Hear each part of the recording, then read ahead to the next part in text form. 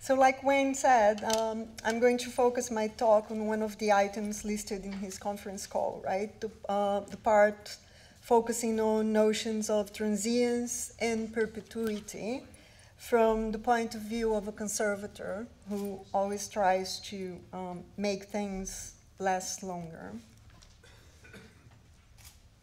Uh, and you can see the you can see the blurb there on the slide.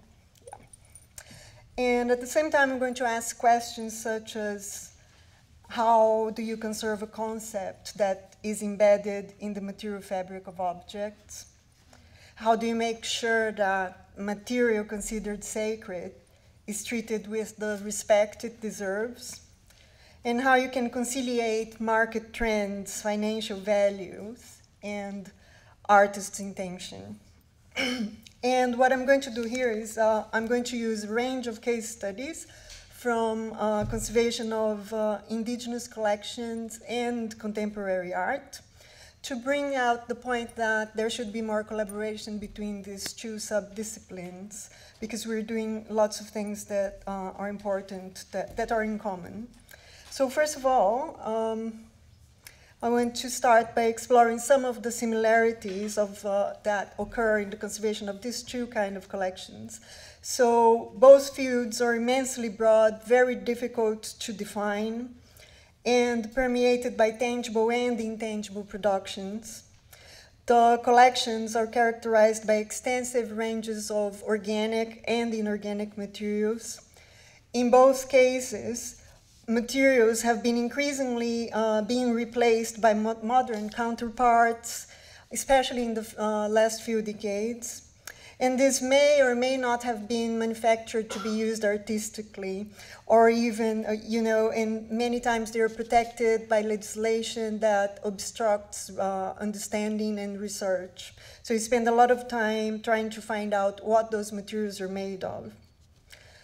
Um, another similarity between the two, the two kinds of collections is that uh, some, many times the materials used in the, in the objects are incompatible in terms of uh, age and properties, but they are still, still combined in the manufacture. Uh, another important point is that both indigenous and contemporary art are, of course, usually embedded in complex networks of meanings and uh, values. It's also interesting from my point of view to notice that museum professionals associated with both fields have been particularly been, uh, have been particularly interested in more participatory and inclusive processes in the decision making uh, concerning stewardship. And also that the interest groups associated with these collections are becoming more and more vocal. Unfortunately, these kind of collaborations do not happen as often as they should, and this is probably one of the reasons why it's not unusual to find contemporary art that has been conserved in a manner that goes against its very concept or its essence. Uh, most of these cases relate to material that should have been allowed to deteriorate or decompose and eventually disappear, so follow its natural cycle of, exi of existence. But for whatever reason, in that context, it was decided that it should be subjected to a treatment that would slow down or change this uh, cycle. Likewise, it's very common to see objects considered sacred by their originators being displayed along secular objects or in circumstances that may desecrate or devalue them. So in order to explore the question of how long these collections should last, or whether they should really last very long. We have to start considering why we preserve collections, how long uh, we should preserve them for, and we usually use the word the future when we try to elaborate on these ideas. So I'm always very curious about uh, what the future means. So there has been some research focused on this subject. And a few years ago, William Lindsay conducted a survey in some London museums to find out some evidence for uh, different perceptions of what the future means, right? So he found that the expectations will vary according to the age of the collection, um, the perceived deterioration rate of the materials present in the collections, the kind of material that they are made of, the artistic intent, and of course, what I meant, uh, what I mentioned as the, the future, what the future means. For most respondents to the survey, uh, the future meant a point 100 years from now, but that will of course vary according to your age. Um, so I'm not quite sure what that means. Um, so to start with the, my examples, I want to I want to highlight here that the conservation literature is full of uh, of articles and treatments that uh, try to stop or deal with deterioration. So we try uh, we try to conserve deterioration, and here you're going to understand what I mean. So the fact is that deterioration and decay are so fascinating and uh, so intrinsic to our nature that many contemporary artists use it as the main concept of their work or as a means to achieve that concept. So what to say, for example, of the, the image you have uh, on the slide there, Ages of the World. So it's an installation by Anselm Kiefer that was at the Royal Academy last year. And uh, I, was uh, very entertained by the label that described it uh, as saying mixed media. And as you can see on the slide, consists of a large number of canvases, and they are all stacked on each other, and each of the canvases or one work by itself, so they're finished works. Uh, and they are, uh, there are layers of plants, pieces of metal, textiles, dust, and whatever you can think in there. Um, on the exhibition's audio, I heard Kiefer saying that after the painting, after he paints a canvas, he takes it outside his studio and he leaves it there for a couple of years. According to him, the painting continues to do its thing. So that is, it has to start deteriorating before he considers uh, the, the, painting uh, ready for display. And for that, what I'm very interested in is that he used an inverse approach of conservation, what is sometimes called uh, anti-conservation. Uh, so for him, deterioration itself is a vehicle of expression. And the question here is, does it matter if we stop the deterioration, so if we stop the decay? Um, I would go further and say that I learned a lot from Kiefer's work because his work is populated by lessons about salt damage, corrosion mechanisms, all agents of deterioration are in action in there. Uh, and he tries always to put uh, organic and in, inorganic materials that are very reactive to each other together. Uh, in the next slide, you can see some more detail of, um, of his work and how deterioration is important in there. So, of course, he learned a lot from his mentor, Joseph Beuys, who, my understanding, was a master of combining compatible materials. Today, as conservators, we're left with the challenges of conserving his work that, in order to survive, would either have to be consolidated so heavily that chemically it would be completely changed, even though it might still have the same appearance. Or the other option would be to replace the original materials with replicas. Both options, by the way, go against what Beuys would like to be, uh, to be done, because he was, of course, very opinionated and vocal about his, uh, about his work and left a lot of writings and testimonies about what should be done. So the point highlight, being highlighted here is that deterioration may, in so many cases, bring completeness or uh, closure to a process related to a work of art or a sacred object. A different, a different example relating to allowing things um, to decay, so allowing completeness, uh, is related to the Pueblo Zuni in New Mexico in the United States and their efforts to repatriate twin images of Ahayuda colloquially known as the war gods. This is, of course, one of the classics in the literature. So images of Ahayuda have traditionally been carved out of wood and uh, used in ritual initiations and commemorations as symbols of courage, strength, and protection. They are supposed to be placed in special shrines around the Zuni Pueblo when they are replaced by uh, when they replace older images. So then the older images are retired and taken to another shrine where they're supposed to be allowed to decay and complete the process. At least 80 of these images were repatriated to the Zuni between 1978 and 95, which gives an idea of the, the size of the collections. Uh, still, there are many Zuni ritual objects in collections today, and even being uh, offered in auctions. So a couple of years ago, or last year actually, the Drouot auction uh, um, house in Paris was involved in various controversial sales that were contested by the Zuni, the Hopi, the Navajo nations, and backed by the US State Department. Uh, as the efforts to stop the auctions in December 2014 were in vain, then the Navajo Nation purchased seven sacred objects from the auction house.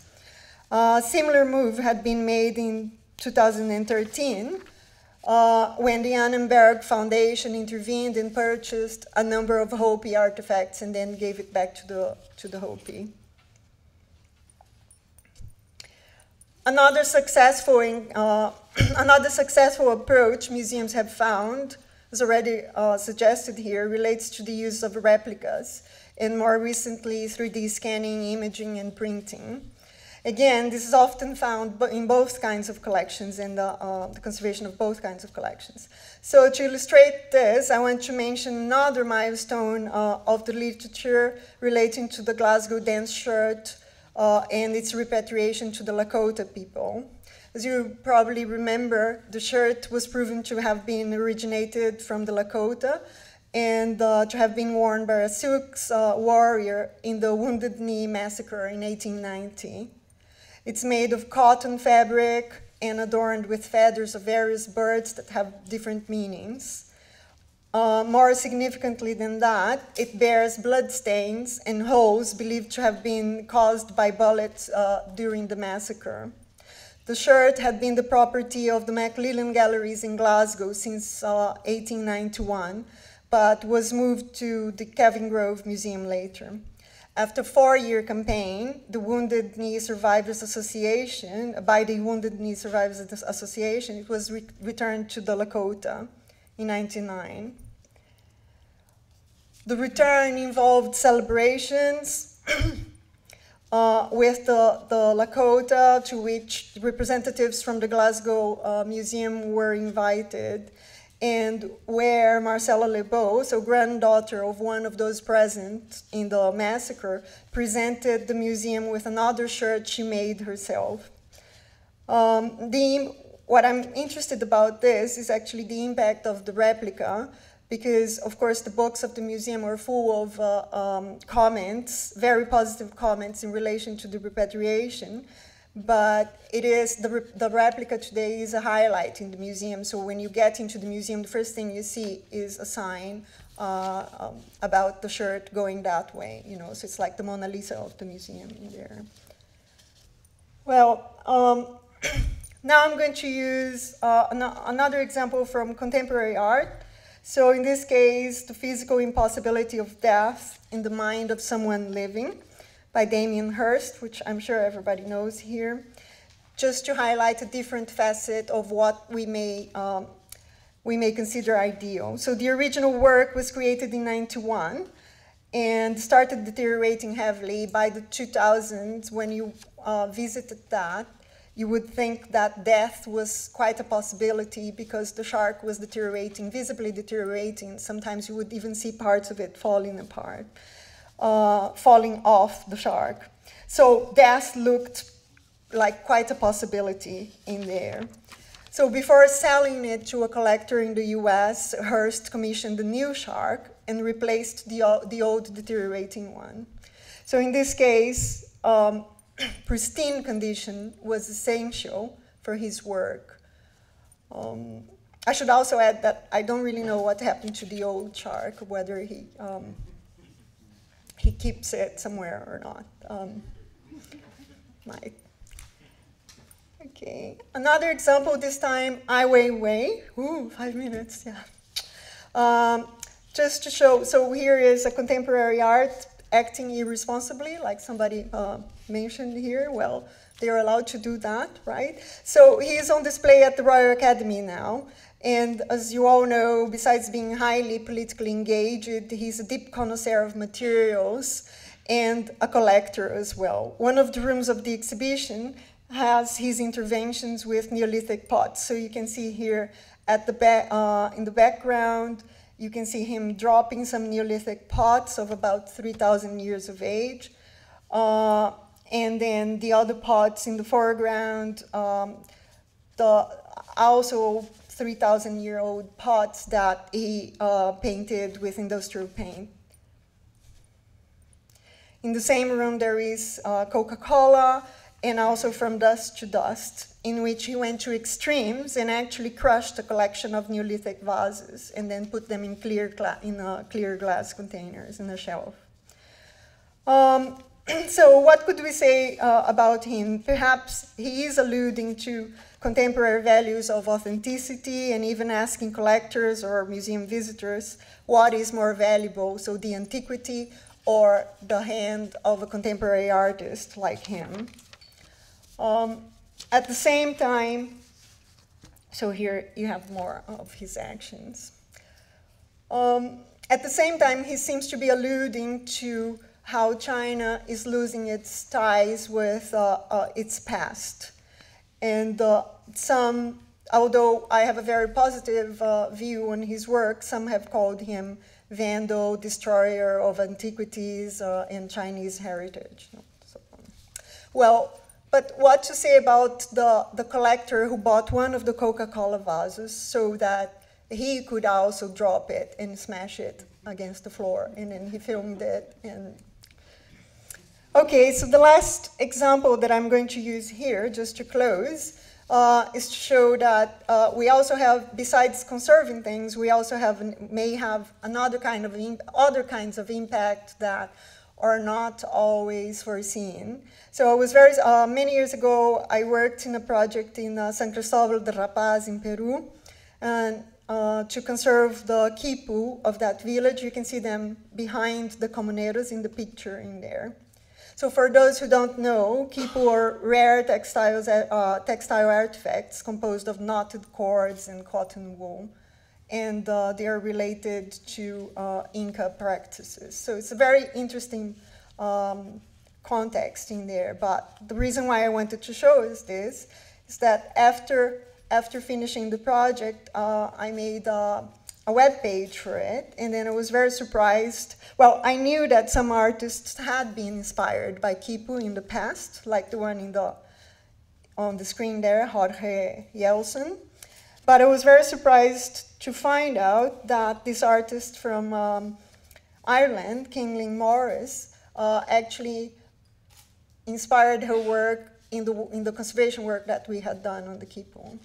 So all this to say that in working with this kind of collections, we have to have open minds, uh, creativity, and be ready for whatever comes, right?